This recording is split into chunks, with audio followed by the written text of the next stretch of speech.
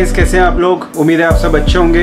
Guys आज हम बात करेंगे things which sales person must remember during the sales और साथ ही साथ हम बात करेंगे 15 most important things which needs to be remember during the sales तो गाइस आज का टॉपिक है मेरे book paperback mastering the art of selling से।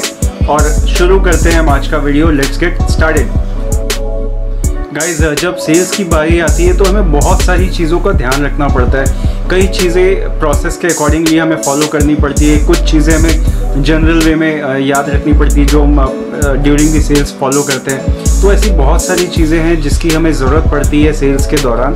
तो उसमें से कई बार ऐसा होता है कि हम कई चीज़ें मिस आउट कर जाते हैं, कई बार चीज़ें भूल जाते हैं, कई बार चीज़ें याद होते हुए भी हम उसे प्रॉपर वे में यूज़ नहीं कर पाते इम्प्लीमेंट नहीं कर पाते।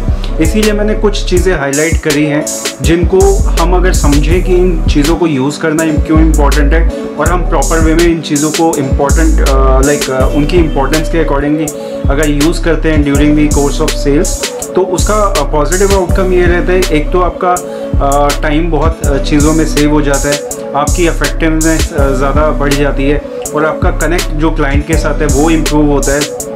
और फाइनली आप सेल्स क्लोज करने में भी ज़्यादा ईज आउट महसूस करते हैं और आपको हेल्प मिलती है सेल्स क्लोज करने में बेटर वे में और लॉन्ग लास्टिंग रिलेशनशिप भी आप क्लाइंट के साथ बेटर डेवलप कर पाते हैं। तो इसीलिए ज़रूरी है कि कुछ चीज़ें जो हमें रेगुलर बेसिस पे फॉलो करनी है, उनको हम एक बार लिस्ट डाउन कर लें, उनको समझ लें अच्छे से और उनको रेगुलर बेसिस पर प्रैक्टिस करना शुरू करें। तो जो बेनिफिट्स हम उनको यूज़ करके कर सकते हैं रेगुलर वे में वो एक बार प्रोसेस में हमारे एक बार आ जाएगा। तो बाय डिफ़ॉल्ट धीरे धीरे हम उन चीज़ों को फॉलो करेंगे। तो डेफिनेटली हमारे को अच्छे रिजल्ट्स मिलेंगे सेल्स में। तो इसीलिए ज़रूरी है कि हम लिस्ट डाउन करें सबसे पहले ये कौन सी चीज़ें हैं। तो आज मैंने कुछ चीज़ें हाईलाइट करी अपनी बुक से, कुछ अपने एक्सपीरियंस से। तो आज हम इन चीज़ों के बारे में डिटेल में समझते हैं point by point wise point और कहाँ कहाँ इनको यूज़ करना है, किस तरह से यूज़ करना है, उस बारे में बात करते हैं। गाइज़ अब हम बात करते हैं उन पंद्रह चीज़ों के बारे में जो सेल्स पर्सन को ध्यान रखना ज़रूरी है, याद रखना ज़रूरी है और रेगुलर बेसिस पे उसको ड्यूरिंग दी सेल्स फॉलो करना चाहिए प्रॉपर तरीके से ताकि रिज़ल्ट ज़्यादा इफ़ेक्टिव और ज़्यादा बेटर हो पाएँ। तो कौन सी चीज़ें अब हम उस बारे में बात करते हैं? तो सबसे पहले है बेसिक इंफॉर्मेशन या basic details of your client तो सबसे पहले आपको जानना ज़रूरी है अपने क्लाइंट को उसकी इन्फॉर्मेशन आपको स्टोर करके रखना चाहिए जितनी चीज़ें आप याद करके रख सकें बेस्ट है जितनी चीज़ें आप याद ना करके रख सकें उन्हें आ, अपनी डायरी में नोटबुक में या आपके लैपटॉप में स्टोर कर सकते हैं। और उसमें से सबसे इम्पोर्टेंट चीज़ें हैं आपका क्लाइंट उसका नाम उसकी डिटेल्स जैसे कि उसका डेट ऑफ़ बर्थ एनिवर्सरी कोई इम्पोर्टेंट डेट्स वगैरह हो इसके अलावा वो चीज़ें उनके ऑर्गेनाइजेशन के बारे में फैमिली के बारे में तो जितनी ज़्यादा इन्फॉर्मेशन आपके पास रहेगी, उनकी पर्सनल प्रोफेशनल डिटेल्स तो ये आपको हेल्प करेगा उनके साथ बेहतर तरीके से कनेक्ट क्रिएट करने में। आपको उनके साथ में और ज़्यादा क्लोजनेस और ज़्यादा उनका साथ में जो रिलेशनशिप है स्ट्रॉन्ग और बेटर बनाने में। गाइज़ सेकेंड पॉइंट है की डिसीज़न मेकर्स कई बार ऐसा होता है कि डिसीज़न मेकर्स एक से ज़्यादा होते हैं। या कभी हम इस तरह से देखें कि एक फैमिली में आप किसी प्रोडक्ट, सर्विसेज़ को ऑफ़र कर रहे हैं तो उस फैमिली में हो सकता है कि जो जो फैमिली का हेड है, वो अपने फैमिली से एडवाइस लेता हो या जॉइंट डिसीज़न लेता हो अपने स्पाउस के साथ में मिलके।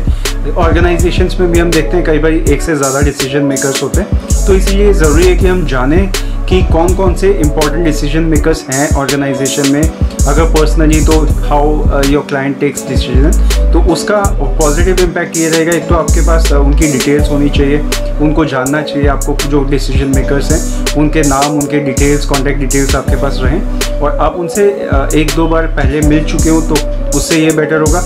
कि आपका कनेक्ट उनके साथ बेटर रहेगा। तो जब भी आप नेक्स्ट टाइम मिलने जाएँगे मीटिंग में जाएँगे तो आपको पता रहेगा कि इस ऑर्गेनाइजेशन में डिसीज़न मेकिंग किस तरह से होती है। तो that will help you like pitch your product processes और आपको सेल्स को क्लोज करने में ज़्यादा आसानी होगी। अगर आप सारे की डिसीज़न मेकर्स को उस प्रोसेस के दौरान इंक्लूड कर पाएँगे तो। Guys third point is carry sales material ये भी एक बहुत इंपॉर्टेंट चीज़ है जो आपको ध्यान रखना चाहिए। और आपको हमेशा कैरी करना चाहिए। और सेल्स मटेरियल में आपकी काफ़ी सारी चीज़ें हो सकती है, जैसे बेसिक ब्रोशर हो गया पैम्पलेट्स हो गया, जो इन्फॉर्मेशन शेयर करते हैं, जो बताते हैं प्रोडक्ट सर्विसेज़ के बारे में। साथ ही साथ आप एग्रीमेंट वगैरह अगर कोई फॉर्म यूज़ करते हैं तो वो एग्रीमेंट का फॉर्म आप साथ में रख सकते हैं। और इसी तरह का कोई और कोलेट्रल जो आपको रिक्वायर्ड है या प्रेजेंटेशंस वगैरह जो आपको रिक्वायर्ड होता है आपके प्रेजेंटेशन के दौरान सेल्स पिच के दौरान तो वो चीज़ें आपको स्टोर करके रखना चाहिए। वो चीज़ें आपको रेगुलर बेसिस पे चेक करते रहना चाहिए कि अपडेटेड इन्फॉर्मेशन उसमें अवेलेबल है या नहीं इन केस अगर चेंज करने की ज़रूरत है अपग्रेड करने की ज़रूरत है तो आप अपग्रेड करते रहिए रेगुलर बेसिस पे। Fourth point is story of client this means कि जो आपका क्लाइंट है उसकी एक जर्नी रही होगी एक लेवल से शुरू करने के बाद। एक लेवल तक उन्होंने पहुँचा होगा। और उस जर्नी में uh, बहुत सारी चीज़ें ऐसी हुई होंगी जो अप्स एंड डाउन्स होंगे। साथ ही साथ कुछ उन्होंने सक्सेस uh, अचीव करी होगी ड्यूरिंग दी जर्नी कुछ उसमें ऐसे ऐसे फेलियर्स भी हुए होंगे जो uh, उनको लगता है कि जिससे उन्होंने लर्न किया और फर्दर उनको हेल्प मी उसमें एनहांस करने में सक्सेस अचीव करने में। तो कई बड़ी क्लाइंट्स हमसे वो शेयर करते हैं अपनी स्टोरी तो हमें बहुत इंपॉर्टेंट है कि वो स्टोरी को हम याद रखें, किस तरह से उन्होंने अपनी जर्नी एक लेवल से दूसरे लेवल तक पहुंचाई। क्या क्या उन्होंने उसमें एफर्ट्स किए, क्या सेक्रीफाइसेस किए। तो ये चीज़ें अगर हम जानते हैं और जब हम इन चीज़ों को यूज़ करते हैं ड्यूरिंग आवर डिस्कशन सेल्स का तो हेल्प मिलती है हमको बहुत ज़्यादा क्लाइंट के साथ कनेक्ट कर पाने में पर्सनल लेवल पे। बिकॉज़ ये चीज़ें जो होती है ना किसी की सक्सेस स्टोरीज़ या किसी की फेलियर स्टोरीज़ अगर वो शेयर कर रहे हैं that means they are feeling like exchanging information about them themselves personally तो वो पर्सनल कनेक्ट वहाँ पे क्रिएट होना शुरू होता है। और पर्सनल कनेक्ट का मतलब है better understanding better relationship better connect better rapport finally धीरे धीरे करके बेटर रिलेशनशिप तो इन सब का पॉजिटिव आउटकम क्या होता है? क्लाइंट आपके ऊपर ट्रस्ट करता है कॉन्फिडेंस होता है क्लाइंट को आपके ऊपर, तभी वो आपके साथ शेयर करते हैं और आप इसको पॉजिटिव वे में यूज़ कर सकते हैं। गाइज़ फिफ्थ पॉइंट है vision and ideas of your client this means कि जब आपका क्लाइंट आपके साथ शेयर करता है अपने विजन को आइडियाज़ को तो वो आपके साथ कनेक्टेड फील करता है अपने आपके साथ बॉन्डेड फील करता है। तो इसका पॉजिटिव आउटकम ये रहता है कि जब अपने क्लाइंट ने आपके साथ ये चीज़ें शेयर करी है आप इन चीज़ों को याद रखिए और हमेशा इन चीज़ों को यूटिलाइज करिए अप्रोप्रिएटली इन एनी डिस्कशन तो इसका पॉजिटिव आउटकम ये रहेगा जब आप नेक्स्ट टाइम मिलेंगे तो आपको बात शुरू करने के लिए डिस्कशन शुरू करने के लिए एक अच्छा टॉपिक मिल जाएगा जहाँ पे क्लाइंट फील करता है कनेक्टेड क्योंकि ये चीज़ें क्लाइंट के बहुत करीब होती हैं।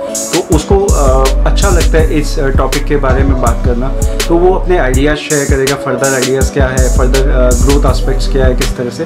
तो वहाँ पे एक डिस्कशन के लिए अच्छा सब्जेक्ट मिल जाएगा आपको। और फिर धीरे धीरे करके आप उस टॉपिक से डाइवर्ट करके जो आपका एजेंडा है, आप उस एजेंडे की तरफ़ जा सकते हैं सो दैट डिस्कशन को आप ज़्यादा फ्रूटफुल बना पाए और फाइनल कंक्लूजन की तरफ़ आप पहुँच पाए। Guys six point is previous orders जब भी आप क्लाइंट के साथ डिस्कशन में जा रहे हैं, आपको हमेशा ध्यान रहना चाहिए कि प्रीवियस ऑर्डर क्या था। लास्ट के एटलीस्ट एक या दो ऑर्डर तो आप ध्यान रख ही सकते हैं। उससे ज़्यादा अगर ना भी रख पाएँ तो। और आप साथ में इंफॉर्मेशन भी कैरी कर सकते हैं आपके लैपटॉप में या लास्ट इन्वॉइसेस की डिटेल आप रख सकते हैं। तो ये आपको हेल्प करेगा जब आप ऑर्डर फाइनलाइजेशन की स्टेज पे होंगे। टर्म्स कंडीशन नरेट कर रहे होंगे डिस्कशन में आपकी बात हो रही होगी। तो प्रीवियस ऑर्डर को आप बेस में रखते हुए फर्दर डिस्कशन कर सकते हैं, या उसमें कुछ चेंजेस करके या अपग्रेड्स करके आप उसे यूटिलाइज़ कर सकते हैं। तो प्रीवियस ऑर्डर की इन्फॉर्मेशन भी आपके लिए हेल्पफुल है कई बारी। आप इसे बेटर वे में यूटिलाइज कर सकते हैं so that it will help you close the deal as well तो इसीलिए इस इन्फॉर्मेशन को भी आपको याद रखना यूज़ करना बहुत ज़रूरी है। Guys seven point is remember to follow up ये भी एक बहुत इंपॉर्टेंट चीज़ है कि आप फॉलो अप कब करना है, ये ध्यान रखें। बिकॉज़ कई बार ऐसा होता है कि हम क्लाइंट से मिलकर डिस्कशन किया, सारा कुछ फाइनलाइज कर लिया और एक स्पेसिफिक टाइम एंड डेट होता है जब क्लाइंट कहते हैं कि आप मुझसे इस टाइम पे कनेक्ट करो, इस डे पे कनेक्ट करो। और अक्सर ऐसा होता है कि हम अगर उसको प्रॉपरली नोट डाउन ना करें तो हम उसे मिस मिस आउट कर सकते हैं। तो इसीलिए ज़रूरी है कि आप एक तो उसको नोट डाउन भी करिए और बेटर वे में अगर आप उसको इम्प्लीमेंट करते हैं, जैसे शेड्यूलिंग कर लें, आपके कैलेंडर में डाल लें तो उससे आपको ये हेल्प मिलेगी कि आपको वो चीज़ें पॉपअप हो जाएँगी आपके कैलेंडर में तो आपको याद रहेगा। या आप अपने मोबाइल में रिमाइंडर भी लगा सकते हैं। तो जो भी आपको कन्वीनियंट लगे, वो आप यूज़ करिए और जो टाइम एंड डेट आपने फाइनलाइज किया है, उस डेट पे हमेशा फॉलो अप करिए। तो it will help you close faster and close better guys eight point is follow the agenda कई बार ही हम क्लाइंट के साथ जब एंगेज करते हैं डिस्कशन कर रहे होते हैं तो हम एक्चुअल टॉपिक से डाइवर्ट होकर किसी और टॉपिक के ऊपर में डिस्कशन करना शुरू कर देते हैं। कुड भी जैसे पॉलिटिक्स हो गया स्पोर्ट्स हो गया, या किसी और तरह की चीज़ें जो अक्सर हम टॉपिक से डाइवर्ट होके डिस्कशन में करते हैं क्लाइंट के साथ में। तो उस टाइम पे ये भी ज़रूरी है कि आप अपने एजेंडा को भी ध्यान में रखें, और बीच बीच में वापस अपने एजेंडा के ऊपर आ जाएँ। जो चीज़ें हम over and above agenda discuss करते हैं पॉलिटिक्स स्पोर्ट्स या किसी और तरह की चीज़ें।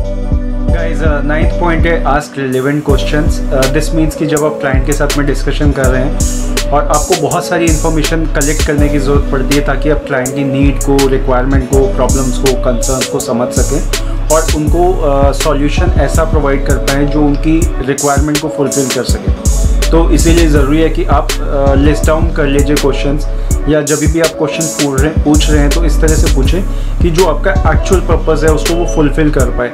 और आप रिलेवेंट क्वेश्चन पूछें जो स्पेसिफाई कर पाए क्लाइंट की नीड को रिक्वायरमेंट को उनकी प्रॉब्लम कंसर्न अंडरस्टैंडिंग तो ये सब चीज़ें एड्रेस करते हुए आपको क्वेश्चन पूछने चाहिए। तो उसका पॉजिटिव आउटकम हमेशा ये रहता है कि आप सॉल्यूशन जो आप क्लाइंट को ऑफ़र करोगे, वो उनकी रिक्वायरमेंट के बेस पे होगा। और साथ ही साथ आपका जो प्रोडक्ट सर्विसेज़ उस बेसिस पे ऑफ़र करेंगे, वो क्लाइंट के लिए वैल्यूएबल भी तभी बन पाएगा जब आप उसको समझ के क्लाइंट को समझ के, उनकी नीड्स को समझ के सॉल्यूशन ऑफ़र करते हैं तो। गाइज़ टेंथ पॉइंट है focus on benefits not features जब भी हम क्लाइंट के साथ बात कर रहे हैं प्रोडक्ट सर्विसेज़ ऑफरिंग को लेके तो हमारा फोकस जो है बेनिफिट्स के ऊपर होना चाहिए। जब भी हम कंपैरिजन करें हमारे प्रोडक्ट को कॉम्पिटिटर के प्रोडक्ट के साथ में, या हम अपने प्रोडक्ट को हाईलाइट करें तो हमारा focus entirely should be on benefits specification पे अगर हम जाते हैं फीचर्स पे हम जाते हैं तो हम जो बेसिक आउटकम है, वो हम मिस कर देते हैं. तो क्लाइंट के लिए हम क्या वैल्यू एडिशन करने वाले हैं? हमारे प्रोडक्ट्स किस तरह से उनके लिए एक वैल्यू एडिड ऑफरिंग लेके आ रहे हैं? क्या उनकी लाइफ में पॉजिटिव आउटकम आएगा पॉजिटिव चेंज आएगा हमारे ऑफरिंग के थ्रू तो ये चीज़ को हाईलाइट करना ज़्यादा ज़रूरी है। क्लाइंट उससे रिलेट बेटर कर पाएगा और डिसीज़न मेकिंग में भी ये चीज़ हेल्प करेगी कि क्लाइंट आपके प्रोडक्ट को, आपके सर्विसेज़ को, आपके ऑफरिंग को एक्सेप्ट करे बाय करे। Guys eleven point is offer personalize solutions तो अगर हम देखें, हर क्लाइंट की नीड अलग होती है रिक्वायरमेंट अलग होती है प्रॉब्लम कंसर्न्स हर चीज़ अलग होती है। वो क्या एक्सपेक्ट करते हैं, हर क्लाइंट का एक्सपेक्टेशन अलग होता है। तो इसीलिए ज़रूरी है, सबसे पहले हम क्लाइंट को समझें, उसकी रिक्वायरमेंट्स को नीड्स को प्रॉब्लम्स को कंसर्न्स को समझें। और जो हम सॉल्यूशन क्लाइंट को सजेस्ट करें, वो पर्सनलाइज्ड हो कस्टमाइज्ड सॉल्यूशन हो, जो उसकी नीड्स को फुलफिल कर सके। और क्लाइंट की एक्सपेक्टेशन पे खरा उतर सके। तो आप जिस भी तरह से कस्टमाइज कर सके प्रोडक्ट सर्विसेज़ को या पर्सनलाइज कर सके तो वो हेल्प करेगा आपके क्लाइंट को बेटर वे में कनेक्ट करने के लिए। छोटा सा एग्जांपल लेते हैं, जैसे आप क्लाइंट्स को गिफ्ट देते हैं कई बार उनके साथ में बेटर कनेक्ट क्रिएट करने के लिए। तो गिफ्ट भी अगर आप उनको दे रहे हैं तो पर्सनलाइज गिफ्ट दें। जर्नलिस्टिक ना दें। फॉर एन इंस्टांस अगर आप उनको एक पेन दे रहे हैं नॉर्मल पेन दे दिया खरीद के कस्टमर को तो वो वैल्यू क्रिएट नहीं करेगा बट पेन पे अगर क्लाइंट का नाम लिखा होगा तो वो उनके लिए एक वैल्यूएबल चीज़ होगा बिकॉज़ वो कैरी करेगा उनका नाम। तो वो उसको संभाल कर रखेंगे। तो इसीलिए ज़रूरी है कि आप जो भी ऑफरिंग भी दें, जो भी सॉल्यूशंस भी क्लाइंट को ऑफ़र करें या गिफ्ट भी किसी के तरह का दें तो वो पर्सनलाइज्ड हो कस्टमाइज्ड हो तो वो हेल्प करेगा उनको आपके साथ कनेक्ट क्रिएट करने में, आपके ब्रांड के साथ एसोसिएट करने में, आपके प्रोडक्ट सर्विसेज़ बाय करने में। ट्वेल्थ पॉइंट है follow the sales process this means कि जब आप रेगुलर बेसिस में किसी एक्टिविटी को करते हैं तो वो आपके हैबिट में फॉर्म हो जाती है और जब आप उसको रेगुलर बेसिस पे फॉलो करेंगे इम्प्लीमेंट करेंगे तो उसका पॉजिटिव आउटकम ये रहेगा कि विद ईज आप उस चीज़ को कर पाएँगे। तो इसीलिए ज़रूरी है कि आप हर मीटिंग्स में सेल्स प्रोसेस फॉलो करें और over a period of time ये आपके हैबिट में डेवलप हो जाएगा। उसके बाद आपको ईज आउट रहेगा सेल्स के कॉल्स पे जाना क्लाइंट के साथ डिस्कशन करना फाइनली सेल्स को क्लोज करना। और आप जब प्रोसेस्ड वे में चीज़ों को फॉलो करते हैं तो उसका पॉजिटिव आउटकम ये भी रहता है कि एक, आप चीज़ों को ईज आउट वे में कर पाते हैं। आप चीज़ों को इम्प्रूव करते रहते हैं रेगुलर बेसिस पे based on your learning meeting your client तो वो एक पॉजिटिव आउटकम रहता है कि आपकी सेल्स पिच बेटर होती जाती है और आप साथ में एक्सपीरियंस के साथ में आप सेल्स को ज़्यादा बेहतर तरीके से क्लोज कर पाते हैं और आप हर बार प्रोसेस को अपग्रेड करते रहते हैं प्रोसेस को बेटर बनाते रहते हैं। तो ये हेल्प करता है आपको हमेशा सेल्स की बेहतर कनेक्टिविटी क्लाइंट के साथ में और बेहतर जो बॉन्ड है, वो क्रिएट करने में फाइनली आउटकम ये रहता है कि आपकी सेल्स भी बेटर होती है, ज़्यादा नंबर ऑफ़ सेल्स आप क्लोज कर पाते हैं। थर्टीन पॉइंट है not to discuss price initially this means कि ये चीज़ भी बहुत इंपॉर्टेंट है कि आप याद रखें हमेशा कि आप प्राइसिंग की बात सेल्स में इनिशियली तो बिल्कुल भी ना करें और ना करें जितना ज़्यादा अवॉइड करें उतना बेटर है। बट एक ऐसा स्टेज आता है जहाँ पे आपको प्राइस की बात करनी पड़ती है। बट उससे पहले आप क्लाइंट को एंगेज करें throughout the sales process. आपके प्रोडक्ट के बारे में प्रोसेसेस के बारे में फीचर्स के बारे में बेनिफिट्स के बारे में फोकस आपका बेनिफिट्स पे रखिए वैल्यू क्या कस्टमर को ऑफ़र कर रहे हैं उसके ऊपर रखिए। साथ ही साथ पर्सनलाइज सॉल्यूशन देने की कोशिश करिए। क्लाइंट की नीड के बेस पे उसको प्रोडक्ट सर्विसेज़ ऑफरिंग देने की कोशिश करिए। तो वहाँ पे अगर क्लाइंट कन्विंस्ड है, उसको किसी तरह के ऑब्जेक्शंस हैं, उस ऑब्जेक्शंस को सॉल्व करने की कोशिश करिए। तो वो सब चीज़ों पर अगर क्लाइंट आपका कन्विंस हो गया, उन सब चीज़ों को लेके क्लाइंट आपका सेटिस्फाइड है तो pricing would be a small part of it pricing उतना ज़्यादा मैटर नहीं करेगी तब। अगर क्लाइंट आपका प्राइस से भी है तो अलग बात है, वो सबसे पहले प्राइस ही पूछेगा। वैल्यू के बारे में बाद में बात करेगा, तब आप प्राइस के बारे में बात कर सकते हैं। अदरवाइज़ आप प्राइस को लास्ट के लिए रखिए। मेन फोकस करिए आप क्या वैल्यू क्रिएट करने वाले गाइस फोर्टीन पॉइंट है note and respond to objections appropriately this means कि आपके क्लाइंट के कई तरह के ऑब्जेक्शंस हो सकते हैं। कुछ इंपॉर्टेंट होंगे कुछ न्यूट्रल होंगे और कुछ यूजलेस uh, भी होंगे। तो ज़रूरी है कि आप उनको आइडेंटिफाई करें नोट डाउन करके रखें। प्रायोरिटी के हिसाब से उसको आप लिस्ट कर लें। और फाइनली जब आप क्लाइंट के ऑब्जेक्शन हैंडल कर रहे होंगे तो स्टेप बाय स्टेप उनको टेकअप करें। सबसे पहले इंपॉर्टेंट जो पैरामीटर्स हैं, वो आप पिक करें। सबसे पहले क्लाइंट के ऑब्जेक्शन जो आपके लिए इम्पोर्टेंट है क्लाइंट के लिए इम्पोर्टेंट है, वो आप सबसे पहले हैंडल करें अप्रोप्रिएटली उसके बाद आप न्यूट्रल ऑब्जेक्शंस के बारे में डिस्कस कर सकते हैं कि जिसका कोई पॉजिटिव या नेगेटिव आउटकम नहीं निकलेगा। और लास्ट में वो ऑब्जेक्शंस जिनका कोई वैल्यू नहीं है, जो क्लाइंट कई बारी कन्फ्यूज़न की वजह से हाईलाइट कर देता है या कई बारी टू रेज एनी क्वेश्चन वो अराइज हो जाते हैं। तो वो चीज़ें हैं, वो आप डिस्कशन के दौरान इग्नोर कर सकते हैं या क्लाइंट को कंफर्म कर सकते हैं कि मेन चीज़ जो है वो कंफर्म वो सॉर्ट आउट हो गई है। तो ये चीज़ें हैं, ये आपके लिए इतने मैटर नहीं करती। अगर आप चाहें तो we can discuss it further तो मोस्ट प्रोबेबल वे में देखेंगे आप क्लाइंट उन चीज़ों को खुद ही मना कर देगा कि नहीं ये उतना इंपॉर्टेंट नहीं है। तो मेजर फोकस आइटम जो है वो आप उसको प्रॉपर तरीके से एड्रेस करें। तो वो हेल्प करेगा आपको क्लाइंट के जो भी ऑब्जेक्शन हैं सॉल्व करने में क्लोज करने में क्लाइंट को वैल्यू एडेड ऑफरिंग्स बताने में। तो फाइनली आउटकम ये रहेगा कि क्लाइंट को आप सेल्स uh, के प्रोसेस में एक स्टेप आगे ले जा पाएँगे। गाइस फिफ्टीन पॉइंट है discuss further steps toward sales closure this means कि अब आप ऐसी स्टेज पे पहुँच चुके हैं जहाँ पे क्लाइंट की आपने सारे के सारे क्वेरीज सॉल्व कर दिए कंसर्न्स प्रॉपरली एड्रेस कर दिए ऑब्जेक्शंस प्रॉपरली हैंडल कर लिए अप्रोप्रिएटली सॉल्यूशन प्रोवाइड कर दिए। तो अब आप ऐसी स्टेज पे हैं जहाँ पे क्लाइंट को आपको फर्दर कोर्स ऑफ़ एक्शन बताना है। आपको ये बताना है कि किस तरह से आप फाइनली सेल्स क्लोज करेंगे और उसमें क्या क्या एग्रीमेंट साइन होगा, क्या स्टेप्स रहेंगे। तो ये स्टेप भी एक बहुत इंपॉर्टेंट स्टेप है सेल्स में। ये आपको बिल्कुल मिस आउट नहीं करना चाहिए, हमेशा ध्यान में रखना चाहिए, क्योंकि ये स्टेप आपका फाइनल स्टेज की तरफ़ क्लोजर की तरफ़ लेके जाएगा। तो आप क्लाइंट के साथ में इस स्टेज पे डिस्कस करेंगे कि अब किस तरह से आगे सेल्स को क्लोज करने के लिए क्या स्टेप लेने की ज़रूरत है, या क्या डॉक्यूमेंट साइन करने की ज़रूरत है, ताकि फाइनली सेल्स क्लोज कर सकें। तो गाइज़ ये था हमारा आज का वीडियो मेरे book perfect mastering the art of selling से। आज हमने बात करी things which sales person must remember during the sales और साथ ही साथ हमने बात करी 15 most important things which sales person must remember during the sales तो गाइज़ बहुत ज़रूरी है कि आप इन चीज़ों को रेगुलर बेसिस पे प्रैक्टिस करें। हमेशा ध्यान में रखें इन चीज़ों को और आपके सेल्स प्रोसेस के दौरान ये चीज़ें आप बेटर वे में अप्रोप्रिएट वे में यूज़ करें। ये आपको हेल्प करेगा ज़्यादा से ज़्यादा सेल्स क्लोज करने के लिए और साथ ही क्लाइंट के साथ बेटर और स्ट्रॉन्ग रिलेशनशिप बिल्ड करने के लिए। तो गाइज़ आज के वीडियो में बस इतना ही। अगर आपको आज का वीडियो पसंद आया हो तो इसको लाइक करिए शेयर करिए with your family and friends subscribe करिए इस चैनल को। तो गाइज़ मिलते हैं आपसे नेक्स्ट वीडियो में, तब तक के लिए thanks bye bye and take care